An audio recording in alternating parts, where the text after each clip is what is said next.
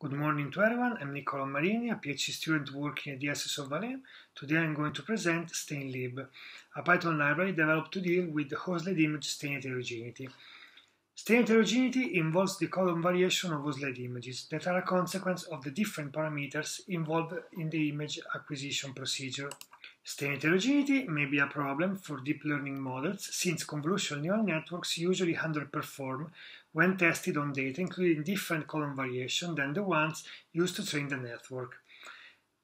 This fact leads to models that do not generalize well on unseen data, increasing the strain needed to develop models that produce consistent results and generalize well on heterogeneous datasets. StainLib provides free components to handle the problem during the training of convolutional neural network models. The first component is a set of normalization techniques.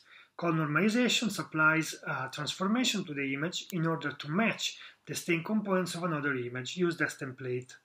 The stain components of the images are the RGB matrices of hematoxylin and eosin, the, the chemical reagents usually used to stain the tissue. The second component is based on stain augmentation technique. Stain augmentation involves the application of random perturbation on the stain components of the input image in order to have several stain uh, variations of the image during the training. The third component is a domain adversarial convolutional neural network.